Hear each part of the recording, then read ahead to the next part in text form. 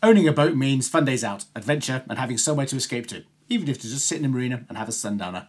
It also brings with it several risks which a sensible boat owner needs to be aware of and prepare for. In this video I'm going to share the 5 essential habits I have to help keep the risk of my boat sinking as low as is possible, especially when I'm not on board. Hello, I'm David Pestridge of White Hat Marine Surveying, located in the beautiful county of Devon in the United Kingdom. My mission is to help people understand boats better. Now, sinking remains one of the most common causes for insurance claims for small craft. Most commonly, this occurs when nobody is actually on board the vessel. Sinking is, without trying to state the obvious, a state whereby more water is entering the vessel than is leaving.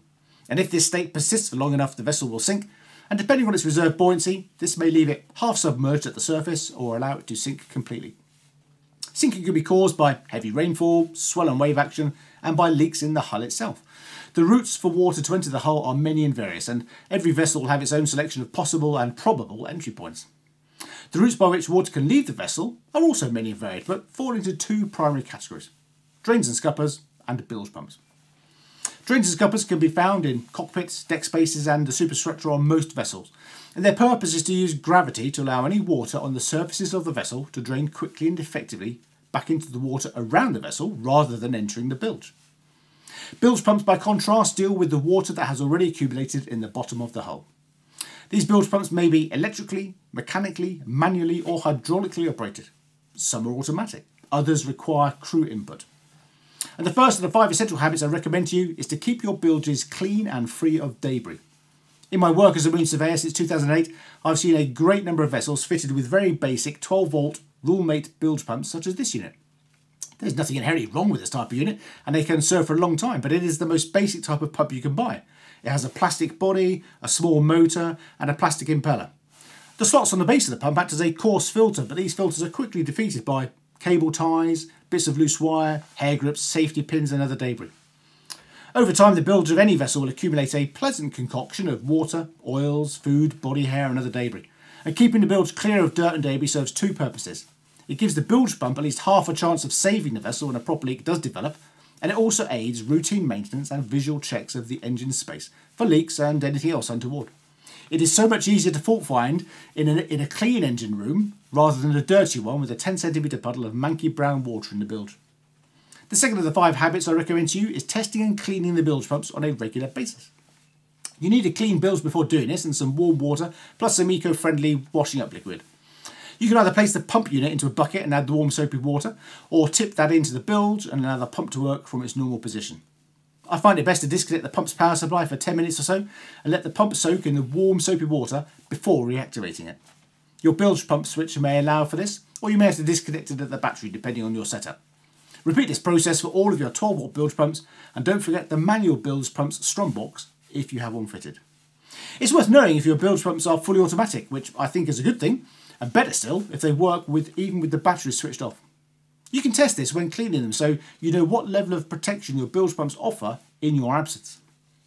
If the vessel takes on water whilst unattended and the bilge pumps can't work, sinking is probably inevitable. And yes, you might pay the price of a flat battery, but rather that than a large salvage bill. If you're finding this video insightful, I'd really appreciate you hitting the like button to help spread the word to other boat owners. Thank you. The third of the five essential habits to avoid sinking is exercising all of your seacocks on a monthly basis. Over time, the skin fittings and seacocks on all vessels will deteriorate, and anything metal will start to corrode, dezincify, or fatigue. Opening and closing them, or exercising them, helps to keep the working parts moving, but also helps you keep an eye on their condition. Of course, to do this, you'll need to know where they all are. Whenever I survey a boat, I find all of the skin fittings and list them in my report in a table looking something like this. This information helps my clients find their skin fittings and serves as a useful checklist for them when it comes to routine maintenance and fault finding. For more information on what I look for when surveying skin fittings, check out a video in the link above.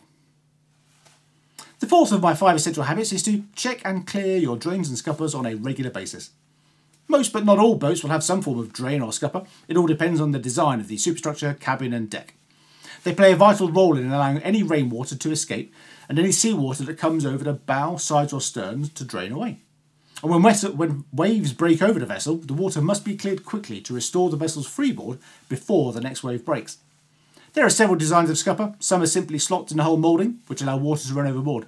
Some racing boats have low transoms to achieve the same aim. On larger vessels with open decks, freeing ports may be fitted above the loaded waterline, which have hinged flaps to allow water to flood out but not in. Drains generally have some form of deck fitting with pipework attached to it. On vessels where the drain is a pipe linking the deck to the hull, there is potential for a blockage which will allow water to accumulate in the cockpit and lower the freeboard of the vessel. These pipes are normally secured with Jubilee clips or something similar, all of which degrade over time. Looking after your drains on a regular basis should become an essential habit.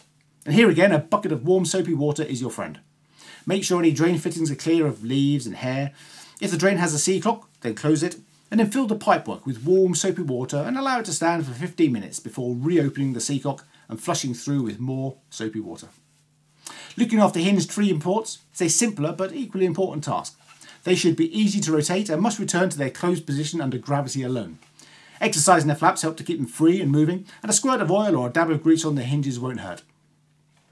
The last of the five essential habits I recommend to you is having a close-up list for whenever you leave your vessel. Now this is a bespoke list suited to your vessel and its mooring and should act as a checklist. Items on the close-up list might include the following. Check that the hatches and doors are closed and locked. Turn off the gas and fuel lines. Switch off the batteries.